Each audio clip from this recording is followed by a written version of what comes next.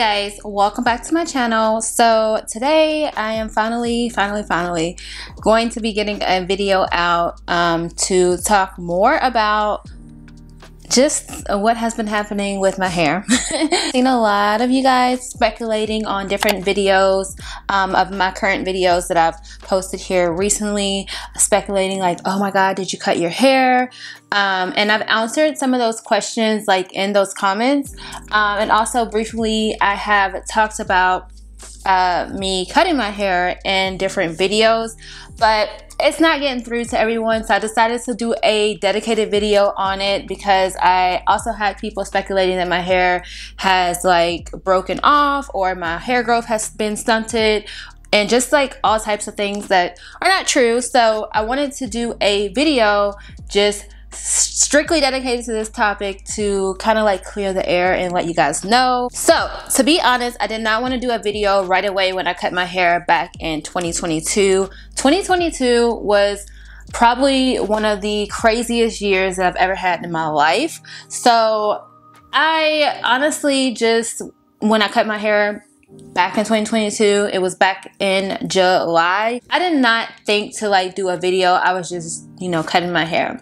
And to be honest um, when I was doing this process, I did post a picture on my community uh, tab where I showed you guys like the hair hair that I had cut off. But to be honest, that wasn't even all the hair that I cut off. That was just when I remembered to take a photo and post it. So that wasn't even all the hair that I cut off in that little clip. To be completely honest, I ended up cutting way too much of my hair off. I originally was gonna let my mom cut off my um, my hair, like do do my ends and things like that, uh, but I didn't get around to like getting her to do that so I decided to do it myself and I ended up cutting way too much off my hair.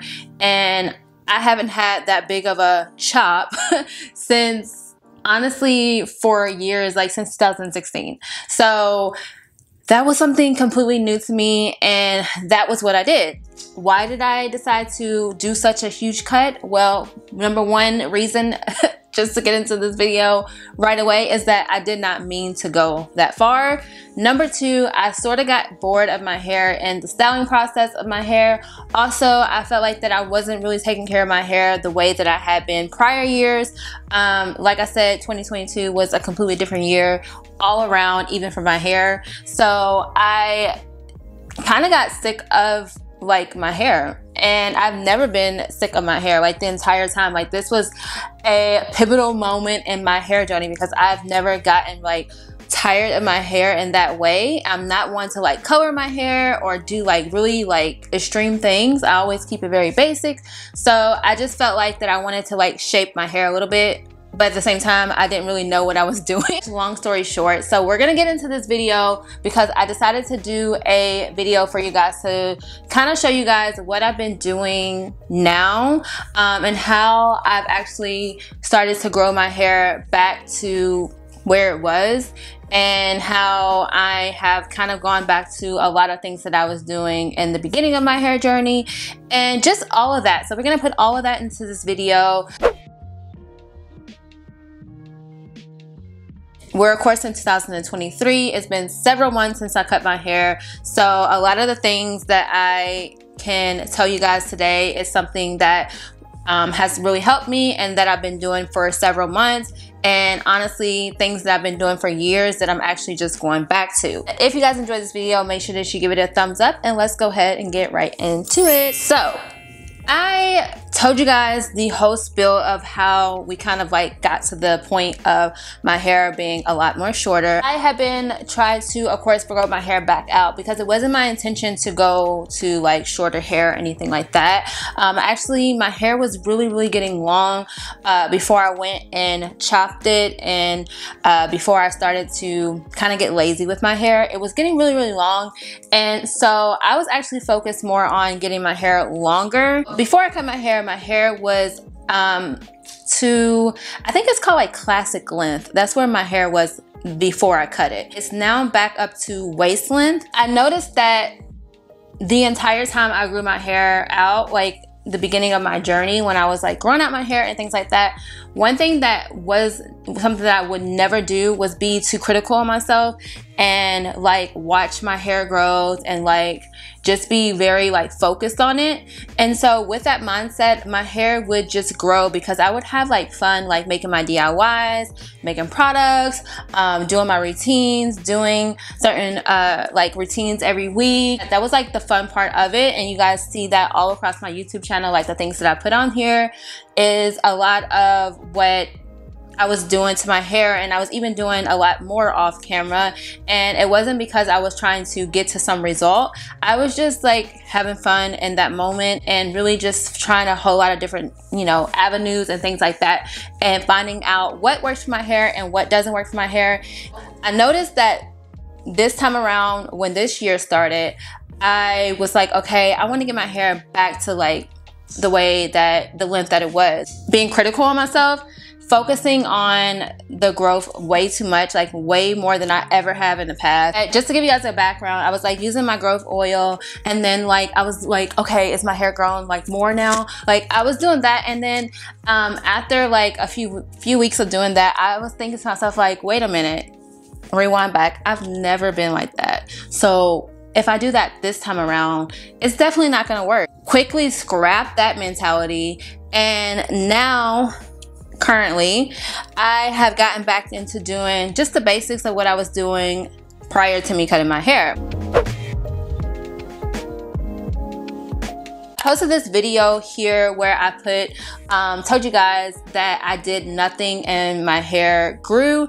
And after that video, I feel like that it went downhill because that video, I was like, oh my God, I haven't been doing much to my hair. It's been growing, blah, blah, blah. And I was kind of just giving you guys like the basics of what I had been doing to my hair, which was pretty much my routine, you know, that I always do. I feel like that after that video, I started to really get comfortable with the fact of, oh, I don't have to do much to my hair anymore. And I started to really drop off a lot of the routines that I was doing. And I was wearing a lot of ponytails and I just wasn't focusing on my um, hair as much. I wasn't focusing on my scalp as much. Today, I think about it. I'm like, okay, your hair, you weren't getting tired of your hair. You just wasn't putting any energy into your hair. So if I could go back, I probably wouldn't have cut my hair so much. With that being said, I have started back up doing a lot of the things that I was doing prior to um, this haircut. One of those things is, like I mentioned, I wasn't really focusing on scalp health back you know in 2022 this year as you guys have seen on my channel i've uploaded two scalp care routine videos i believe um, where i'm telling you guys like about scalp health and things like that.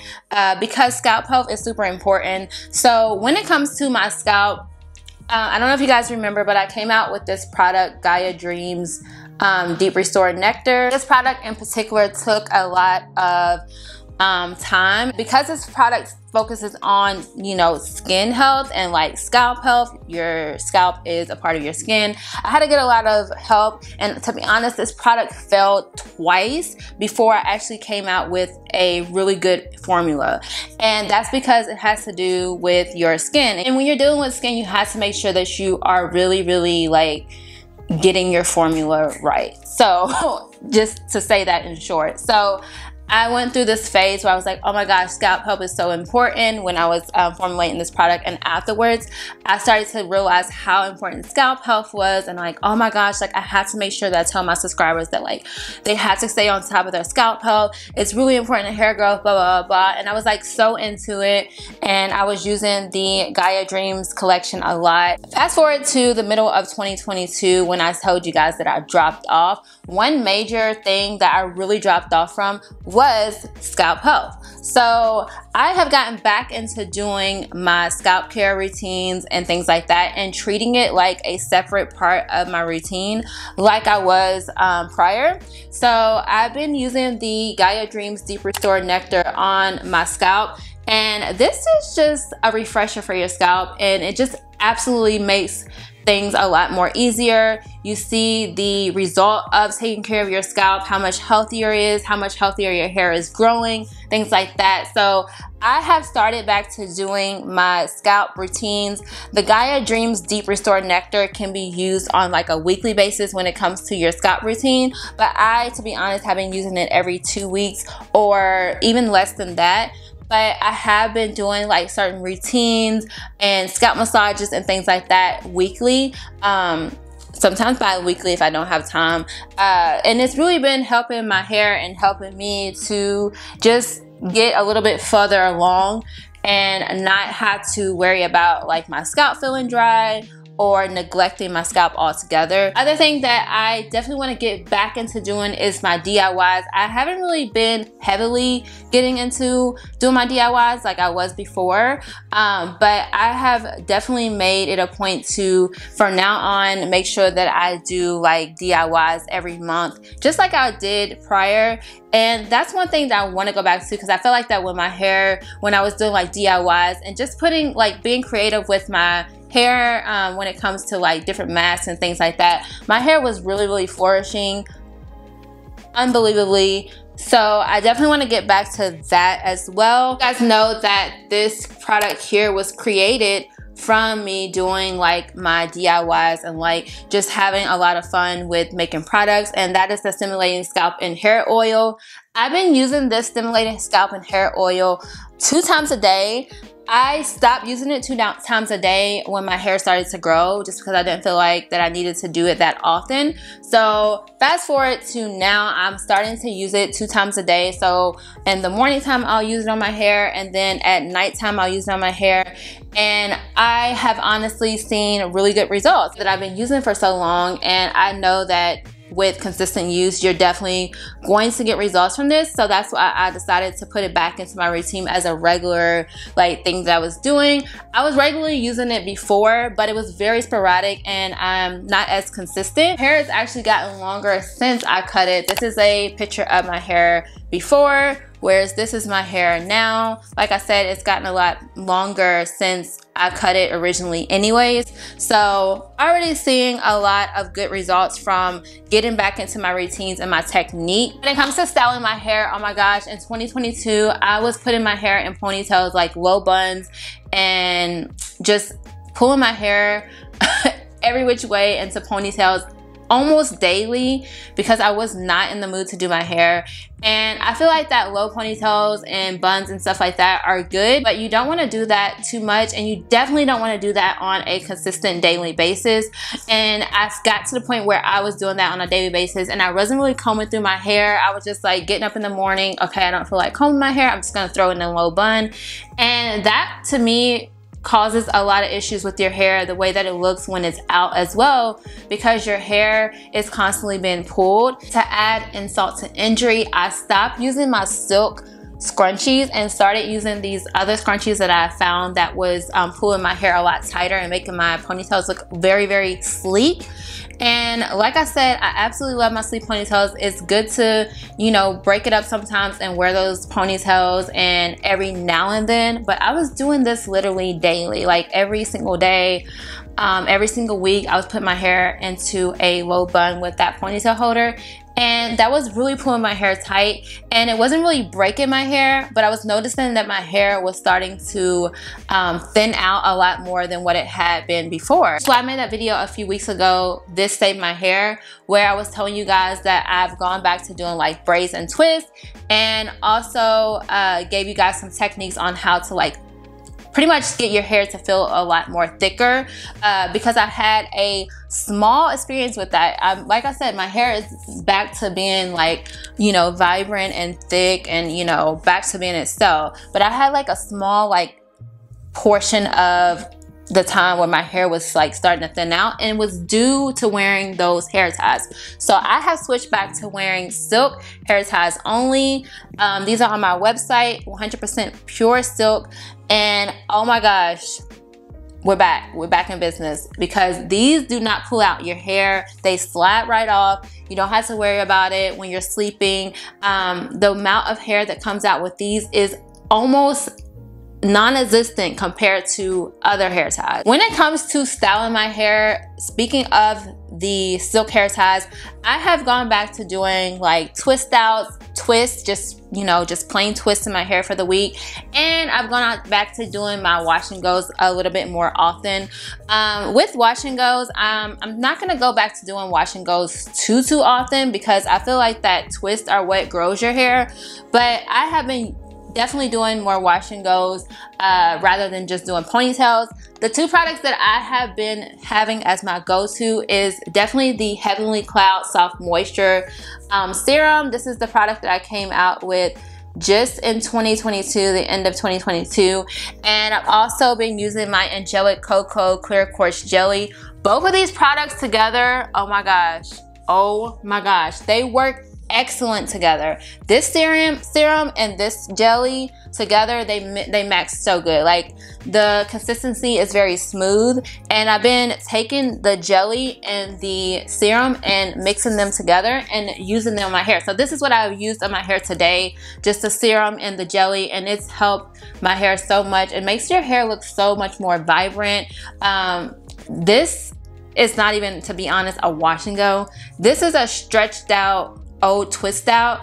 And this morning I revamped it with these two products and now it just looks like a wash and go because that's how powerful those two products are together. And I like finger coil the ends of my hairs and things like that and like make sure that it was nice and put together. But oh my gosh these two products have been a game changer if you guys do not take anything else from that video, from this video, take the fact that these products are amazing. And the thing about this serum is this serum is packed with antioxidants, which is really good for helping to yield hair growth. To be honest, the two-in-one conditioner on my website has been sold out. It's in production now, but it's been sold out. I'll be coming back soon. And to substitute that leave-in, I've been using these two together and then putting my oil on top and I have been getting really, really good results on my hair. So yeah, guys, that combination alone is amazing for my curls and that's something that I've been doing as well when it comes to styling my curls. All right, so the last thing I wanted to tell you guys, um, and these are really simple steps, right? But these are powerful steps. Last thing I want to tell you guys is that I have gone to a different water bottle.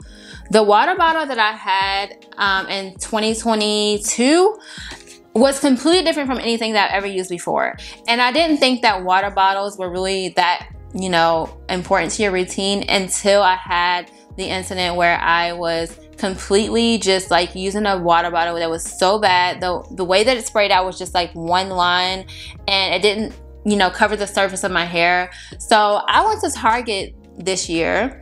And I got this bottle. This is like uh, for a garden or something. I don't even know but it sprays out. I don't know if you can see that. It sprays out so good. The mist is like strong and it's getting a lot of coverage on your hair. So if you have a really bad water bottle and you're using that to moisturize your hair daily it's a big deal because your hair needs water. It needs hydration just like everything else on this planet. So when you have like you know, a really bad water bottle that is spraying out like one line, it's not really getting the surface of your hair, then it's not going to be the same effect as if as if when you had like for example a bottle that sprays out really good and covers like you know majority of your hair and just has a really good nozzle never knew how important a water bottle was until I did like the two comparisons and I'm like okay that needs to be out of my routine and I need to go back to using a really good water bottle. So I have not mentioned deep conditioner all throughout this video because I know you guys are tired of hearing me saying that. But um, I've gotten back to being a little bit more consistent with deep conditioning my hair. So I was consistently, I was always consistent with deep conditioning my hair. But because I wasn't washing my hair as much and I wasn't like putting as much time into my hair, uh, deep conditioning became inconsistent because I was inconsistent with my routine where and so I wasn't really doing anything and so deep conditioning was falling behind as well. Of course you guys know the deep conditioner that I absolutely love is my pink honeysuckle um, plus mango hydration deep conditioner. Uh, you guys love this deep conditioner too. This is like one of the number one products on my website other other than the um, growth oil. You guys absolutely love this deep conditioner which is why it's always sold out. I have been using that for for so long and it's just such a like moisture pack deep conditioner and it just brings so much life to your hair. So you guys are without that deep conditioner because it's sold out, so I don't have any more either. Um, so what I've been doing in this meantime is using a deep conditioner that has been DIY or I'll use Shea Moisture's deep conditioner. I don't really go outside those two things. Um, Shea Moisture is like the only deep conditioner that I'll use outside of my own or outside of my DIYs because I'm really, really, really, really particular about deep conditioners. I feel like they're such a important part of your routine.